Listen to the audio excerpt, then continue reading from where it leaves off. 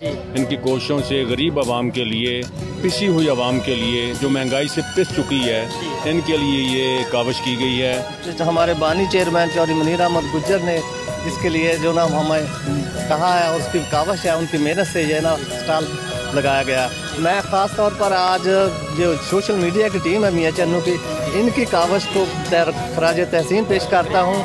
असलम नाजिन अर्द पाकिस्तान के साथ मैं हूँ आपका मेज़बान मोहम्मद हुसैन।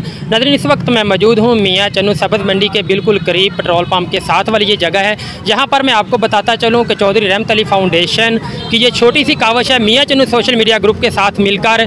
यहाँ पर आपको बताता चलूँ कि महँगाई का दौर है, महँगाई में लोग पिस चुके हैं। उसके, उस हिसाब से देख कर चौधरी मनीर गुजर साहब ने एक कावश की है कि आज जो है सब्ज़ी का एक स्टाल लगाया गया, जिसमें मुस्तक लोगों को सिर्फ़ दस रुपये के हिसाब से एक किलो जो सब्ज़ी दी गई है अल्हम्दुलिल्लाह हमें बहुत ज़्यादा खुशी हुई है।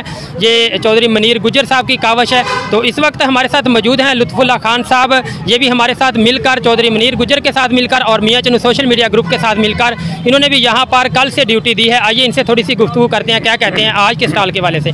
असलम वालेकुम। सर कैसे हैं आप? अलहमदिल्ला अच्छा सर अलहमदिल्ला सर आज की ये छोटी सी कावश है अल्लाह तबारक तला कबूल फरमाए क्या कहेंगे इस वाले से?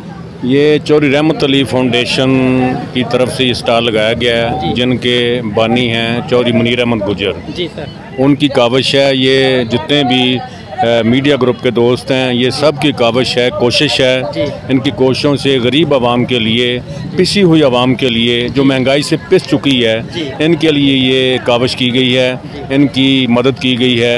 चलो इनको एक दो दिन के लिए सब्ज़ी खाने के लिए मुहैया की जाए। जी जी। और ये मैं इनका सबका मशहूर हूँ जिन्होंने ये काविश की है और ये कोशिश की है। अल्लाह ताला इनको जजाय खैर दे और मज़ीद इस तरह की रफ़ाए आम के काम काम करने की इनको तोफ़ी अता फरमाए। थैंक यू वेरी मच अच्छा सर हमें थोड़ा सा और बताइएगा कि देखें इस वक्त महँगाई का दौर है और हर जो शख्स है उसको अपनी पड़ी हुई है वो अपने कामों में बिज़ी है। किस तरह आपके जहन में सोच आई और मनीर गुजर साहब के किस तरह जहन में सोच आई? सोशल मीडिया ग्रुप के जहन में कैसे बात आई कि यार चले एक दिन के लिए ही सही तो ये स्टार लगाया जाए।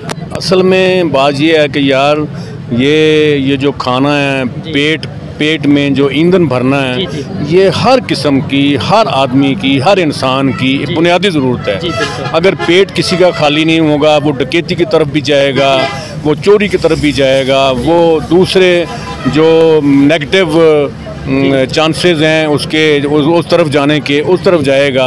सबसे पहले बुनियाद